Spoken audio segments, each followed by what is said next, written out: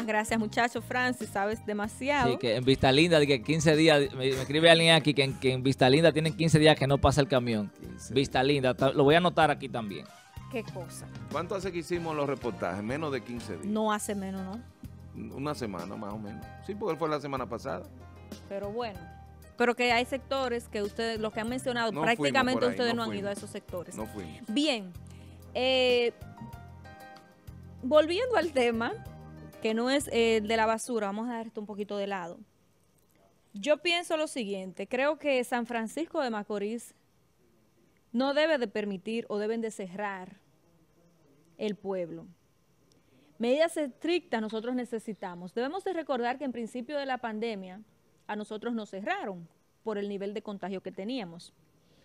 En este momento el gobierno no quiere hacer o cerrar ninguna de las ciudades que tienen un alto brote o un alto contagio, como en el caso de Santo Domingo. Estamos hablando de casi el país completo, exceptuando cuatro o cinco provincias que voy a citar por acá. ¿Creen ustedes, ciudadanos de San Francisco de Macorís, de la provincia Duarte, que no sería que sería justo que nosotros que estamos en un nivel muy por debajo de los contagios, merecemos que se cuide nuestra provincia, que se cuide nuestro pueblo. Sencillamente, eso cae por defecto. Los ciudadanos de la hermana Mirabal, los hermanos de todos estos pueblos que están cercanos a nosotros, Nagua, los que quieren continuar haciendo su vida de manera normal y que van a estar restringidos por un horario de un toque de queda que se aumenta al día de hoy, van a querer movilizarse a los otros pueblos. Nosotros tenemos en este momento un nivel, si se quiere, de tranquilidad en lo que tiene que ver con los contagios, sin bajar la guardia. San Francisco de Macorís vivió episodios muy oscuros al momento de la pandemia del COVID. Hoy nosotros estamos un poquito más tranquilos, más relajados. Las autoridades a nivel de salud, las autoridades del orden, deberían de sopesar y unificar esfuerzos para que nosotros, los pocos pueblos que quedamos con un nivel de contagio menor, con un nivel de positividad menor que los demás, deben de cuidarse como que tuviéramos diamante en estos momentos. Cuando a la fecha la República Dominicana, el COVID está disparado, San Francisco de Macorís, si se quiere, está un poquito tranquilo. Nosotros somos un oasis en el desierto, decía el doctor Luisito.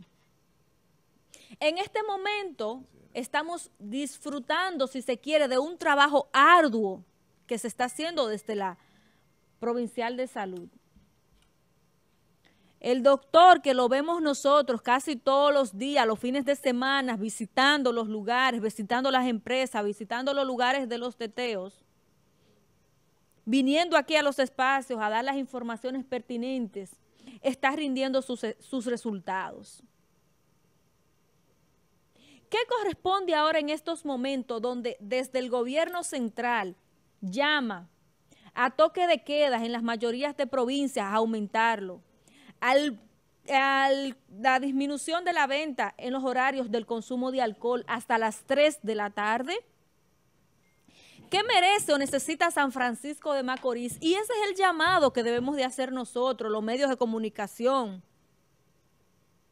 Quienes le interesa que nosotros podamos seguir con este nivel, por adelante no, con este nivel de tranquilidad que tenemos al momento, es forzar a que acá no venga gente de Santo Domingo, que no venga gente de Puerto Plata, que no venga gente de Nagua, que no venga gente de Tenares y provincia Hermanas Mirabal. Se pueden quedar por allá, muy bien, gracias, que ahora no lo necesitamos y tampoco lo queremos. Y no es que sea nada malo, ni que seamos malas personas, ni, ni que seamos eh, pocos empáticos es que nosotros debemos de preservar nuestra ciudad en este momento con el contagio acelerado que tienen los municipios, los pueblos que están cercanos a nosotros. Nosotros, los franco-macorizanos, vivimos momentos muy oscuros a principio y no queremos que esto se repita. Estamos gozando de una tasa baja de positividad gracias a los esfuerzos que se han hecho acá con el señor Luis Rosario, el doctor representante de salud acá en nuestra provincia. Estamos nosotros disfrutando del cuidado de mucha gente responsable que siempre ha usado su mascarilla, que se ha cuidado, porque vivimos en carne propia lo que fue, señores, en un momento inicial de una pandemia mundial donde nadie sabía lo que era el COVID donde nadie sabía cómo tratarlo, donde a nosotros no querían traer ni alimentos a la ciudad, donde si usted iba a otro pueblo y usted decía que era de San Francisco de Macorís, era con cloro que lo rociaban, donde usted pisaba. Donde en ese momento nosotros éramos los más, no voy a decir odiados, pero sino los más repudiados.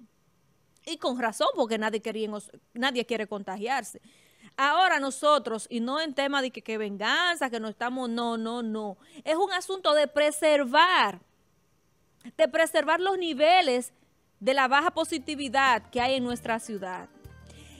Yo le preguntaba al doctor, al doctor Socias, al doctor Rosario, o sea, doctor, ¿qué van a hacer las autoridades a nivel local, a nivel provincial, para nosotros mantener las tasas, los porcentajes que tenemos, que están un poquito bajitos? Se van a prohibir las entradas, se va a regularizar un poco, regular un poquito en las entradas de San Francisco de Macorís, Avenida Presidente Antonio Guzmán Fernández, allá cuando ya entra, ¿dónde es que inicia el pueblo? Aquí, Yernian Francis que conoce bien de, las de los límites de la ciudad.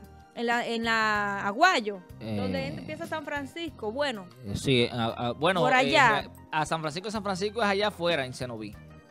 poner retenes, ver ¿A qué viene una, una, persona, un ciudadano? Usted viene a trabajar en un horario de trabajo, presente su documentación. Usted viene a tetear o a hacer fiesta porque aquí no hay toque de queda, no hay restricción. Así vamos a hacerlo también por allá, por la entrada de Nagua y las diferentes entradas por aquí, por Tenares. Nuestros amigos tenarenses, alcedenses, de Nagua y todo lo que colinda con San Francisco de Macorís se pueden quedar por allá muy bien, gracias. Nosotros estamos bien, estamos cuidándonos, estamos con una tasa de positividad, positividad bajita y exhortarles a quienes nos ven, usted que nos está viendo, si usted tiene familia en Santo Domingo, si tiene familia en Puerto Plata, si tiene eh, familia en Monte Plata, si tiene familia en esos pueblos donde la tasa de positividad está por la nube, déjelo por allá. No queremos más contagio, no queremos más COVID, que aquí estamos tranquilitos, aquí nos estamos cuidando. El doctor en representación del sector salud haciendo esfuerzos importantísimos y nosotros esperar que disminuya esto eh, con las medidas nuevas del gobierno, con debilidades y demás y todo lo que usted quiera pensar.